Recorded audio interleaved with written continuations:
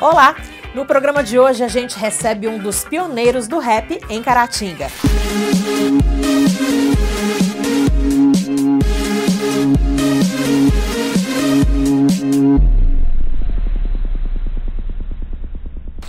O Black Jay é um rapper com quase 30 anos de história.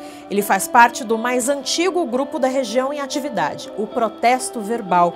Black Jay contou pra gente como era a cena dos anos 90 e 2000.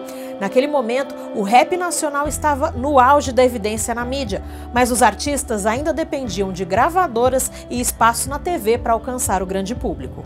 Quebrada bem humilde, né? Mais precisamente ali comunidade Santa Isabel. E lá moleque correndo pelas ruas, nessa época tinha pessoas que vinham de São Paulo para cá, que tinham parentes aqui, pessoas que moravam lá, que, que tinham parentes aqui. E aí tô passando na rua lá, ouvi uma música longe lá, bem longe mesmo, do, do Enidinaldinho, na época. E ali eu me interessei, passei a me interessar por música, por rap nessa época. Nessa época, mas sempre ouvia Jorge Ben, Maia, é, Fafá de Belém, todo mundo. escutei, essas MPB aí é até Caetano Veloso, pra você ter uma ideia. Mas daí pra frente eu me interessei pelo rap. Eu fiquei curioso para saber o que, que era aquilo, que, que tipo de música, que estilo de música era aquela. E aí passei a pesquisar.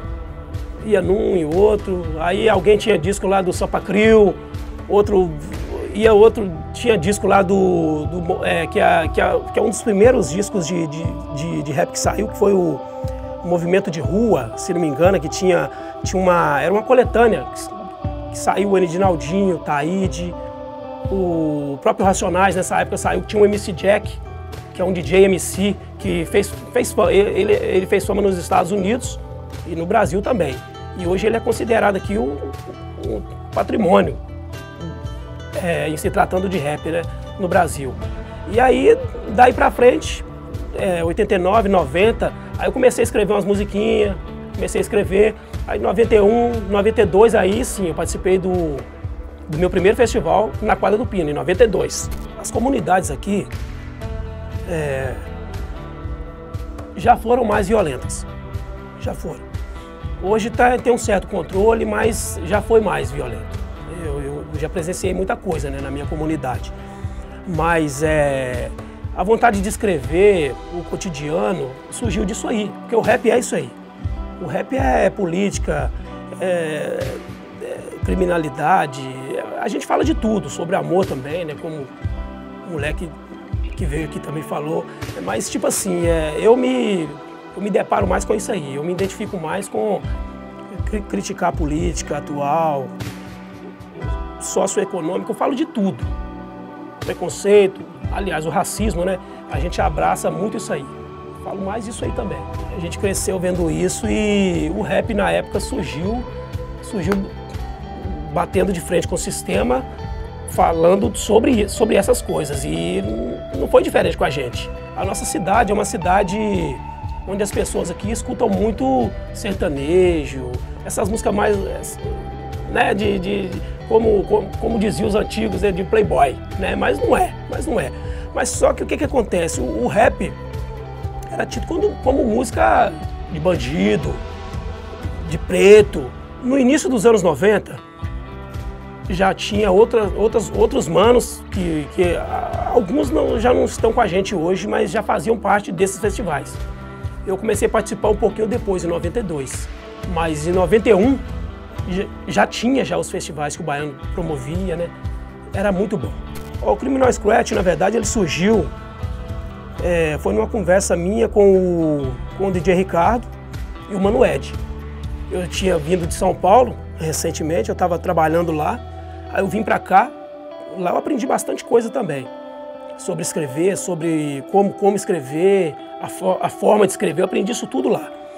E a gente conversou aqui, falei assim, rapaz, eu tô com a ideia de um grupo aí, Criminal Scratch. E aí eu conversei com o Mano Ed primeiro. Aí a gente foi até o DJ Ricardo, que ele já não estava fazendo tanta, tantas festas na época, e ele gostou. Aí a gente procurou, foi, foi do Baiano, Baiano, tô com duas músicas aí para produzir. Vamos produzir hoje então. Aí produzimos, que era o, foram duas músicas na época, que foi o Criminal Está Aí e Preconceito, que era a música do Mano Ed, que eu participei dela também. E estourou. A gente cantou na região todinha aqui. Não era fácil não, era, era doloroso, viu? Que era fita cassete, né? A gente tinha que levar as fitas nas festas, pegava os beats, né? Beat hoje, né? Pra molecada, mas na época pra, pra, pra nós era base. Era base. Tinha que buscar a base no baiano, jogar na fita e levava pra festa. Costumava não rolar, não rodar a fita não. Dava, dava ruim. Já aconteceu comigo, eu tive que cantar uma música inteira, sem base, porque a fita não rodou, não passou. E era desse jeito, não, não, era fácil não, era complicado. Hoje não, hoje você leva duas, três pendrive no, no bolso, fia lá em algum lugar lá e tá passando, passando tudo. E aqui tinha, tinha, tinha uns caras que faziam beatbox na época, tinha os caras do break, que dançava muito, mas muito mesmo. Os caras eram bons. Roda, roda muito, né? Roda muito. Tanto que os caras de Patinga, eles falam com a gente, eles falam comigo, que se não fosse nós, o movimento lá não tinha crescido. Que o movimento lá cresceu através de nós aqui, que vários lá se espelharam na gente aqui. Porque o nosso estilo aqui é um estilo que começou junto com, a, junto com São Paulo, com Belo Horizonte, com Rio de Janeiro. É um estilo, é o estilo boom bap, né, que todo mundo fala, que é o mais é o estilo mais tradicional do rap, é o boom bap. E e com isso tudo a gente acabava conhecendo, conhecendo outras pessoas que eram os b-boys, que eram os, os, MCs que vinham de, vinham de fora, ou tinha parente aqui. E com isso a conexão foi aumentando. E aí a gente passou a conhecer gente Manhuaçu, Ipatinga, Realeza, é BH, Belo Horizonte mesmo. A gente conhece várias pessoas do rap dessas regiões. Juiz de fora, porque o rap estava em crescimento, estava em fase de crescimento e não era fácil gravar disco, mas se você tivesse talento e escrevesse bem, você ia gravar, com toda certeza iria aparecer alguém para te produzir. E eu acho que existia assim um certo receio, não, não, se o cara passar na minha frente ele vai gravar e tal. Eu acho que existia isso. Lá no fundo existia. Mas não era, por exemplo, por exemplo, eu, não era muito o meu objetivo de passar em cima de ninguém ou subir pisando na cabeça de alguém, como eu, eu, já, eu já escrevi música falando sobre isso. Mas, afinal de contas, todo mundo é, ganhou experiência ficou mais experiente, mais maduro com isso tudo. Né? Daqui a pouco, depois do intervalo, tem a segunda parte da nossa entrevista. Fique ligado.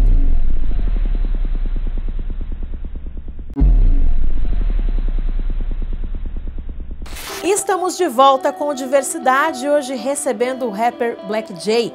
No primeiro bloco, ele falou sobre o começo da carreira e a formação do grupo Criminal Scratch.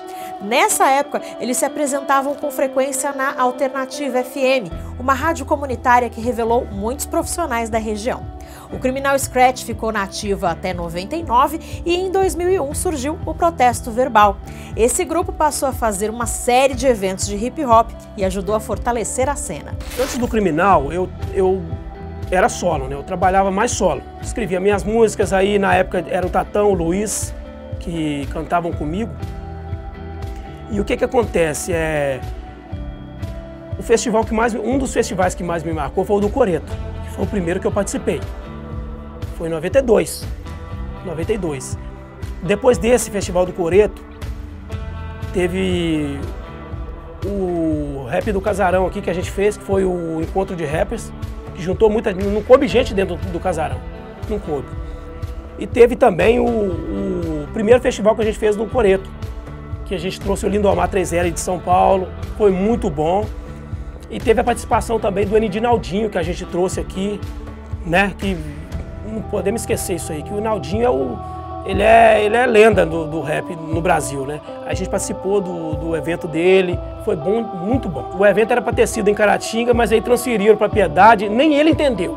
Eu, fui, eu fiz a recepção dele na Rádio Caratinga, aí ele chegou lá, me chamou no cantinho e falou assim: pô, Black J, é, anunciaram a festa para Caratinga, mas o show em Piedade, eu não tô sem entender. Ele falou comigo, né? Eu falei que eu, Naldinho, eu também não sei de nada. Eu só sei que eu vou estar lá logo para te ver cantar. E o cara canta. Para mim foi uma realização até de um sonho, né? Ter conhecido o Enidinaldinho pessoalmente, ter feito parte do, do show dele. Eu tenho contato com o Enidinaldinho até hoje. Tenho contato com ele, a gente conversa, troca ideia. Segundo o Black J, o movimento foi bastante afetado pela pandemia, mas os encontros devem voltar com tudo este ano. E apesar de ficar esses dois últimos anos sem poder fazer show, o protesto verbal conseguiu concretizar um sonho antigo: gravar um álbum produzido pelo DJ Pantera, referência no rap nacional. Caratinga já é uma cidade fechada, né? Pequena e fecha, fechada para muitas coisas. Aí surgiu a pandemia, parou todo mundo, parou geral, parou tudo. Aí pensa bem rap, por exemplo. Aí Aí ferrou, não teve, não teve como fazer nada na época. Agora que a gente está voltando a se reunir e esquematizar algo para fomentar, né? A produção nossa com Pantera surgiu através do Mano HP. Ele já tinha ido lá, ele conheceu também através de redes sociais, ele conheceu o DJ Pantera, pesquisou sobre ele, né? Sobre as produções dele, descobriu que ele produzia vários artistas lá, ele produz, ele produz o Ed Rock do Racionais, ele produz o DJ Alpiste, o, produziu o Dundum. Ele produz vários artistas dentro de São Paulo. A, a Lauren, Lauren Priscila, que canta muito, também cantava com a Dinadi. É, e através dele, ele me passou o contato do Pantera. Aí eu passei a conversar com o Pantera também, reuniu, mas os meninos falaram assim, ó, o cara é bom mesmo. Vamos produzir com ele, vamos juntar um dinheiro aqui e vamos partir para lá. E fomos lá, realizamos o sonho nosso. Tá pronto o disco. Só tô esperando o momento dele falar comigo. Tá pronto, Black. Tá, já tô, tô mandando para você aí. Tá pronto o disco. O título dele é entre, entre o crime e o rap. Ele já conta a nossa história. Que a gente ficou entre o crime e o rap. Eu fiz a minha escolha, né? Que é o, que é o rap. Mas é, é isso aí. É um, é um disco com críticas social, econômica, racismo, a gente critica tudo isso aí dentro, dentro desse disco. E se a pessoa me questionar, eu vou falar com ela, vai no YouTube lá, que tem música nossa lá, que você vai ver o estilo. O estilo é pesado. O do rap é uma música muito poderosa, poderosa mesmo. Porque tira, tira o moleque do crime, das ruas, tira. Porque ele testa a inteligência do, do moleque, testa a inteligência. Você vê que o rap, o, rap, o rap não é música fácil de escrever. Não é. Não é, porque primeiro, sentimento. Segundo, a vivência, a convivência com o crime, com, com aquilo tudo ali. E terceiro, é a sua, é a sua história. É, você consegue, por exemplo, se você for para o centro ali agora ali, começar a ligar um amplificador, pôr um microfone, pôr uma base e começar a cantar ali, fazer um rap ali, vai chover gente ao, ao seu redor, ao seu redor para saber o que, que você está falando. Atrai. E tira do crime sim. Tira porque eu cresci na criminalidade, cresci vendo, e me tirou. Me tirou. Não só eu, mas vários amigos meus também, tirou todos eles. E todos falam uma, em uma linguagem só, que o rap me, me salvou. E salva. O segredo de tudo é se organizar. É igual o Mano Brown fala. O Mano Brown sempre quando ele vai falar do Racionais, ele fala ah, hoje os negrão tá tudo organizado. E, e tão organizado. Eles se organizaram para isso. Muitos grupos de rap de São Paulo ficaram na, na estrada porque não se organizaram, entendeu? O Racionais se organizou, os caras se organizaram. E é o que eu sempre falo para os meninos aqui, vamos se organizar. Se não se organizar, não vai para frente, não anda. Eu já me encontrei com o Cazuza, né, com uh, mais conhecido como Vinícius, que eu só chamo ele de Vinícius mesmo.